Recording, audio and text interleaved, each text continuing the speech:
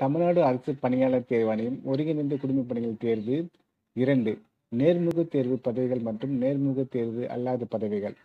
தொகுதி இரண்டு மற்றும் தொகுதி இரண்டு ஏ கான அறிவிக்கையை இருபத்தி மூன்று இரண்டு இரண்டாயிரத்தி இருபத்தி இரண்டு அன்று வெளியிட்டது. அத்தேர்வுக்கு இணைய வழியில் விண்ணப்பிக்க கடைசி நாள் இருபத்தி மூன்று மூன்று இரண்டாயிரத்தி இருபத்தி ரெண்டு ஆகும்.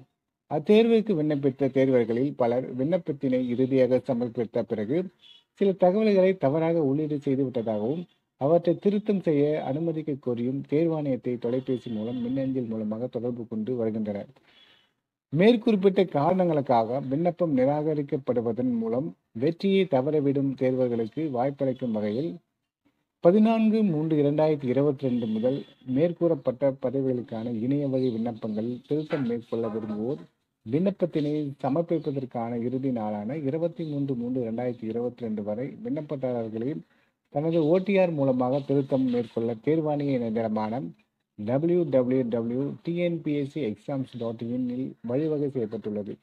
இணைய வழி விண்ணப்பத்தில் உள்ள தகவல்களில் ஒரு சில தகவல்கள் தேர்வரின் ஒருமுறை நிரந்தர பதிவில் இருந்து முன்கொணரப்பட்டவை. அவ்வாறான தகவல்களை திருத்தம் செய்வதற்கு முதலில் தனது ஒருமுறை நிரந்தர பதிவில் ஓடிஆரில் எடிட் ப்ரொஃபைலில் சென்று உரிய திருத்தங்களை செய்து அவற்றை சேமிக்கலாம்.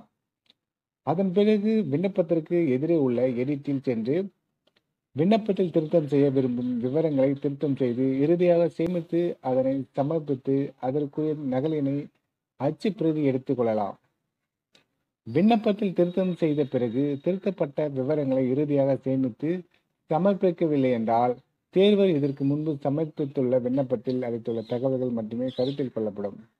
திருத்தம் செய்யப்பட்ட விவரங்களின் அடிப்படையில் தேர்வு கட்டணம் செலுத்த வேண்டிய நிலை ஏற்பட்டால் உரிய தேர்வு கட்டணத்தை இணைய வழியாக செலுத்தவும் உரிய தேர்வு கட்டணத்தை ஏற்கனவே செலுத்திய தேர்வர்கள் மீண்டும் செலுத்த தேவையில்லை. இணைய வழி விண்ணப்பத்தில் திருத்தம் செய்யக்கோரி தொலைபேசி மற்றும் மின்னஞ்சல் மூலமாக தேர்வாணையத்தை பல விண்ணப்பதாரர்கள் தொடர்பு கொண்டனர். அவர்களுக்கு விண்ணப்பத்தை சமர்ப்பித்த பிறகு திருத்தம் செய்ய இயலாது என தெரிவிக்கப்பட்டிருந்தது.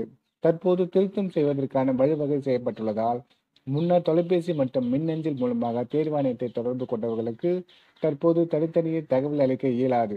இச்செய்தி வெளியீட்டில் கூறப்பட்டுள்ள நடைமுறையினை பின்பற்றி தேவையான திருத்தங்களை மேற்கொள்ளுமாறு அறிவுறுத்தப்படுகிறார்கள். தேர்வர்களுக்கு ஏற்படும் தவிர்க்க இயலாத சந்தேகங்களுக்கு ஒருமுறை நிரந்தர பதிவு மற்றும் இணைய வழி விண்ணப்பத்தில் திருத்தம் செய்ய help desk at TNPC exams dot in என்ற மின்னஞ்சல் முகவரியையும் இதர சந்தேகங்களுக்கு grievance dot TNPSC dot TN dot GOV dot in என்ற மின்னஞ்சல் முகவரியையும் பயன்படுத்தவும். ஒரே பொருள் தொடர்பான சந்தேகங்களுக்கு இரண்டு மின்னஞ்சல் முகவரிக்கும் மின்னஞ்சல் அனுப்புவதை தவிர்க்குமாறும் அறிவுறுத்தப்படுகிறார்கள். இது குறித்து விளக்கம் ஏதேனும் தேவைப்படுமாயில் கட்டணமில்லா தொலைபேசிக்கு அலுவலக வேலை நாட்களில் காலை பத்து மணி முதல் மாலை பத் ஐந்து நாற்பத்தஞ்சு மணி வரை தொடர்பு கொள்ளலாம்.